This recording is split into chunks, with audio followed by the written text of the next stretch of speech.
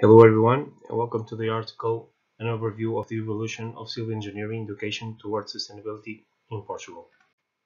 So in this article in this presentation we'll be talking uh, making a small introduction. We'll be talking about the, the sustainable development goals in education. We'll also be talking about the state of the art of civil engineering, sustainability and education in uh, our Portuguese education and we'll be later uh, talking about our conclusions and findings on this article. So, in uh, our education program, we have elementary school and high school.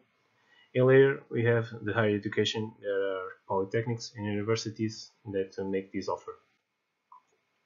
So, according to the program of civil engineering, there is there we have in uh, our higher uh, institutes we have the polytechnics and universities uh, that can uh, offer uh, and offer available programs to the students and future professionals of this area. About the introduction, the importance of the civil engineering sector in society, we can uh, say that they are responsible for the structural integrity of key infrastructures they also is very important because they are related to 5 to 10% of employment and also they are responsible to 5 to 15% of the GDP of the country. Also, they provide uh, specialists involved in housing, mobility, and other specialties that are related to the fabric of the society. Also, the built environment accounts for a large share of energy, also the greenhouse gases emissions, wastes, and other natural resources.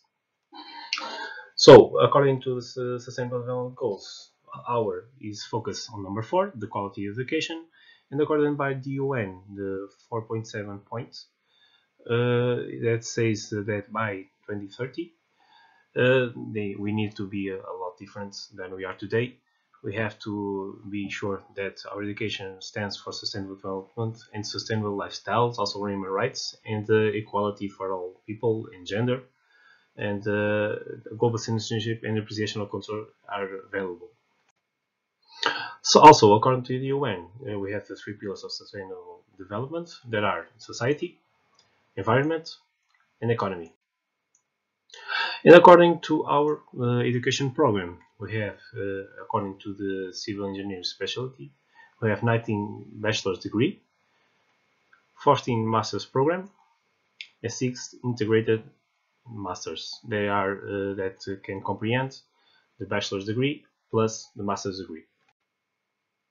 So, according to our findings in regarding the bachelor's degree, it's possible to verify that uh, uh, there are various types of offer in the different polytechnics and university, but there are few or no themes related to sustainability and the environment. So it's a little bit worrying uh, when we say that uh, regarding the variable of sustainability, uh, it's a, a, lot of way uh, away from the, the point and the objective of uh, the UN. Regarding the, the master's degree and integrated masters, it is possible to register that regarding the master's degree, uh, is a little bit different. So uh, in almost all study plans, there are at least one course associated with sustainable development goals and also the environment or economy and also they, they, the three pillars are combined. So, in our conclusions, you can say that regarding the bachelor's degree, there is a large gap in the reduction of the themes and disciplines re related to sustainability. And also conclude that some universities and polytechnic institutes have strong study plans with focus on sustainability. Also, there are some institutes, uh, and that is a thought of mine, and of ours. Uh, there are some institutions that can strengthen their educational offer in sustainability and uh, they, can do a lot better. So uh, we, also, we can also say that uh, the future professionals they don't only have bachelor's degree, uh, our orders, professional orders, they allow it to uh, to make their profession and they can work in the area. So uh, these kind of professionals will not have the receive appropriate education in a sustainability approach, and there may be gaps in the identification of potential opportunities. So uh, the application of uh, sustainable methods and uh, also the goals may not be the, the best. So our universities can and may and have uh, to see different way in in strong their offer. Thank you for your attention.